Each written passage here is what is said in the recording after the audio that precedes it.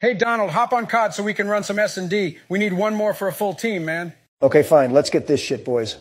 So what are we thinking, rush A side, guys? Statistically speaking, rushing the A side objective has a lower probability of success than if we were to, say, rush the B apparatus. Will you shut the fuck up, Ben? This is why we never invite you to play with us. I agree with Joe. Let's rush A side. Hey, wait a minute. Where the hell is the bomb? What? Did someone say bomb? Barack, shut the fuck up. Joe, where the fuck did the bomb go, you old piece of shit? What's a bomb? Oh my fucking god. The bomb, you useless fuck. You were in front and we were supposed to grab it. Where is it? I don't know. Of course he doesn't. He was probably taking a nap or something. Ben, do you ever shut your fucking feed hole? Yeah, Ben, you're really goddamn annoying. Fuck you, Ben. Joe, what the fuck is making so much goddamn noise in your mic? It sounds like you're on the tarmac at fucking Miramar. What? Oh, yeah, that's just Jill vacuuming in the background. Sorry, guys. I do not even know why you're still with that old hag. Oh my god, bro. Can we kick this loser? Ben, nobody loves you. Yeah, fuck you, Beth. Or, I mean, Becky. Yeah, sure, Donald, kick me. But I'll send federal agents to your